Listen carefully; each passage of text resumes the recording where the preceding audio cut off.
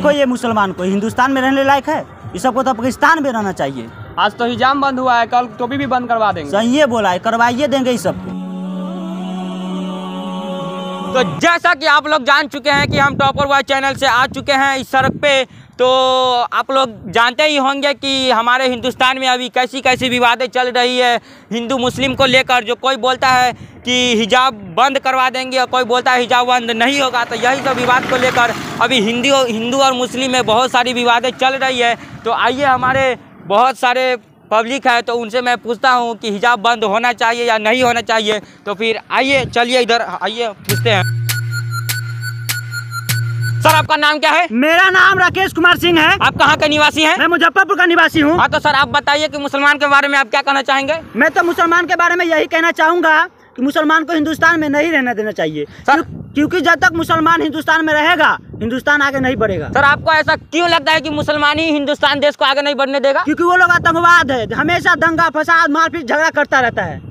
ये सब छोड़िए आप बताइए कि आप कौन सी सरकार को पसंद करते हैं? मैं बीजेपी सरकार को पसंद करता हूँ। तो वो सरकार को आप क्यों पसंद करते हैं? क्योंकि वो बहुत सारा काम किए हैं। तो कौन कौन सी काम किए ये बताइए। अरे बहुत सारा काम किए हैं, इधर उधर का बहुत काम किए हैं। वही तो मैं पूछ रहा हूँ कौन कौन से काम किए ये बताइए। अरे नल लगवाए हैं सड़क बनवाए हैं बाथरूम बनवाए हैं। आपको कह दिया की बहुत सारा योजना लागू किए हैं। हाँ तो ये सरकार को आप बहुत पसंद करते हैं? बिल्कुल पसंद करते हैं। सर ये काम तो पहले भी होता था। नहीं होता था भाई ये बीजेपी के सरकार में हो रहा है। तो चलिए आप जीत गए। अब ये बताइए कि अभी जो हिंदुस्तान में हिजाब को लेकर विवाद चल रही है इसके बारे में आप क्या डिस्कस करना चाहेंगे क्या बोलना चाहेंगे? मैं तो यही बोलना चाहूँगा कि भाई किसी पे काहे कोई दबाव डालेगा?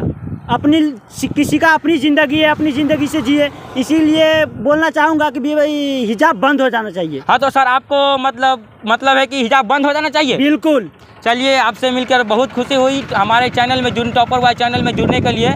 बहुत बहुत धन्यवाद। ठीक है तो फिर चलते हैं। आइए आगे आइए। हाँ तो आइए आइए हमारे साथ आइए। अभी हमारी रिपोर्टिंग अभी और ज़्यादा चलेगी। आगे फिर बहुत सारे पब्लिक से पूछा जाएगा कि ये सबको विवाद को लेकर उन सबका क्या डिस्कर्स है। हाँ तो आइए। भाई मेरे दोस्त लोग मुझे बहुत चिराते हैं कहते हैं कि ये लोग आतंकवाद है इसे हिंदुस्तान में नहीं रहना चाहिए। छोड़ छेटो इस सब बात को खुदा देख रहा है कौन वफादार है कौन गद्दार है। चल तू रूम में ही रह मैं आ रहा हूँ था बाहर से।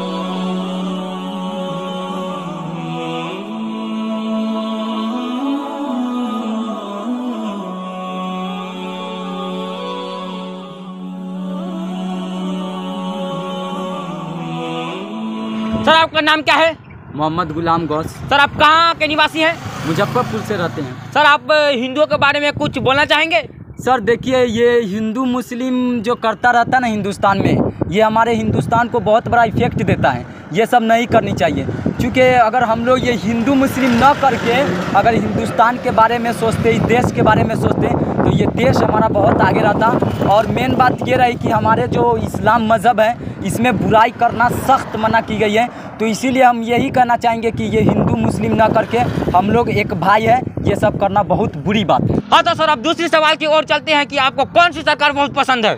देखिए इस दौर में ना कोई सरकार अच्छा नहीं है। वो सब आता है अपना कमाता है और चला जाता है और बीच में जो है ना ये हिंदू मुस्लिम वाला जो विवाद खड़ा कर देता है, अब देखिए ज़ाहिर सी बात है, अगर किसी के मज़हब के बारे में बोलिएगा तो उसका खून खोलबे करेगा। और उसके कारण जो है ना, हम लोग आपस में लड़ जाते हैं। तो उसकी वजह से हिंदू भी मारे जाते हैं, मुसलमान भी मारे जाते हैं, और मज़ा उठाता है सरकार।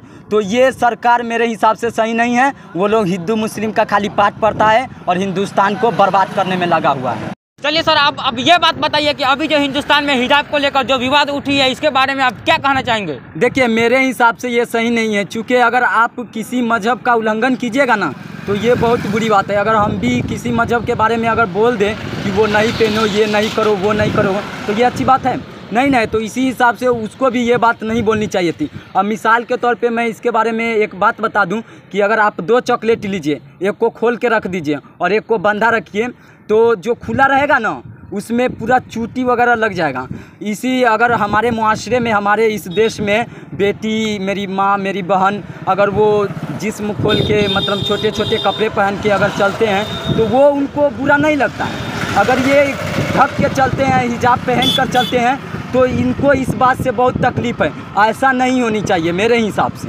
तो सर आपके हिसाब से यह हिजाब बंद नहीं होनी चाहिए? बिल्कुल बंद नहीं होनी चाहिए। अगर ये हिंदू मुस्लिम विवाद बंद करके अगर हम लोग अपने देश के बारे में सोचेंगे ना तो ये हमारा देश भी ना दुबई और लंदन से कम नहीं रहेगा चलिए सर मुझे आपसे मिलके बहुत खुशी हुई। आप बहुत उच्च विचार वाले आदमी हैं और हमारे स्टॉपर वाइज चैनल में जुड़ने के लिए बहुत बहुत धन्यवाद सर। बहुत बहुत शुक्रिया। चलिए।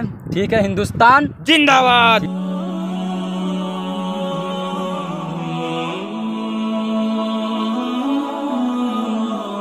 भाई देखिए ना कैसे चिरा रहा है। रहने दो छोटे।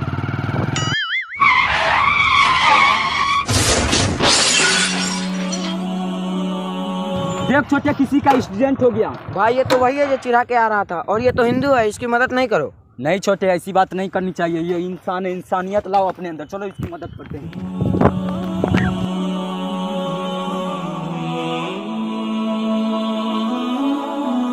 भाई आपको चोट तो नहीं लगी नहीं भाई नहीं चोट नहीं लगी। भाई मुझे माफ़ कर दो यार। अरे भाई किस लिए?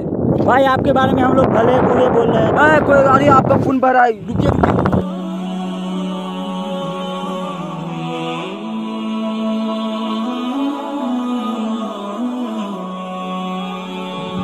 देखिए भाई अपना हिंदुस्तान में यही होता है। करता कोई और है और पड़ता किसी और से हम दोनों हिंदुस्तानी? भाई है।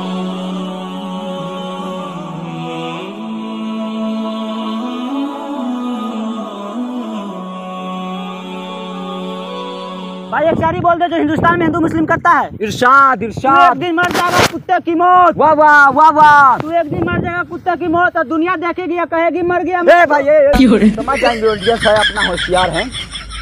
भाई भाई एक शायरी और बोल दीजिए ना प्यारा सा। ठीक है मैं माँ पे बोल देता हूँ। बोलिए। सिसक रही है माँ है बैठ कर कोई अंधेरे कोने में। फुर्सत हो तो जाके पूछना क्या दर्द होता है किसी को खोने में?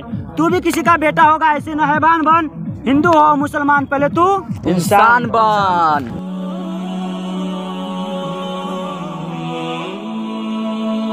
सो so, भाइयों आई होप कि आपको वीडियो अच्छा लगा होगा, क्योंकि वीडियो बनाने का असल मकसद यही था कि आपस में भाईचारा हिंदू, मुस्लिम के बीच बना रहे। क्योंकि देखिए, दूसरे को लेकर अपने लोग को ऊपर पड़ जाता है, हम लोग आपस में लड़ाई पीट कर लेते हैं क्या क्या कर लेते हैं।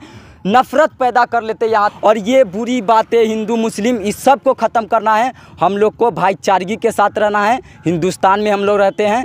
तो बस यही मेन उपदेश था वीडियो बनाने का। तो अब रोजीत भाई कुछ बोलेंगे तो उनसे भी सुनते हैं। उद्देश्य तो आप जान ही गए होंगे कि वीडियो बनाने का क्या उद्देश्य था। वीडियो अच्छा लगा हो तो एक लाइक कीजिए। कमेंट कीजिए और शेयर कीजिए इतना शेयर कीजिए कि सारे हिंदुस्तानी भाई को पहुँच जाए। और दिल से धन्यवाद बोलना चाहते हैं रिजवान भाई को। उन्हीं के चलते हम लोगों का वीडियो में इतना अच्छा क्वालिटी आया है। तो थैंक यू रिजवान भाई। Thanks for watching all guys guys मिलते हैं अगली वीडियो अगले वीडियो के लिए। Bye bye